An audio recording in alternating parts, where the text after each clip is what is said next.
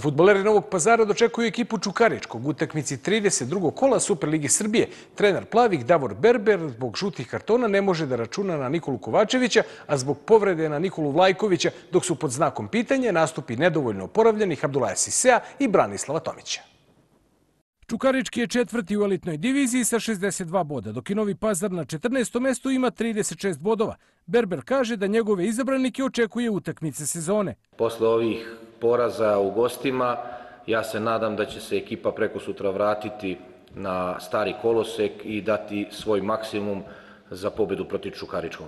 Pobeda nam mnogo znači da ostanemo i dalje iznad te crte.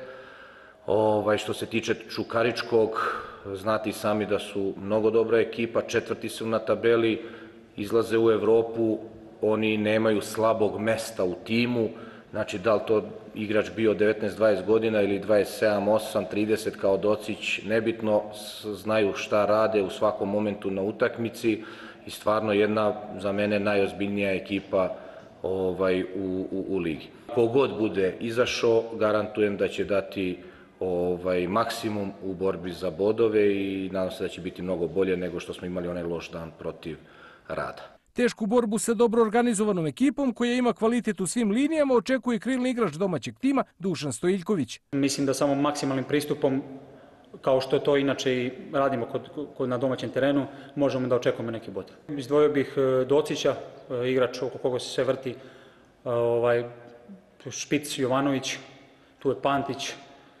tako da, kao što sam rekao, ekipa koja ima sve kvalitete, na svim, svim pozicijama i ovaj, samo maksimalna koncentracija može da nas dovede do pozitivnog rezultata. Novi Pazar i Čukarički igraju u nedelju od 13 časova na gradskom stadionu.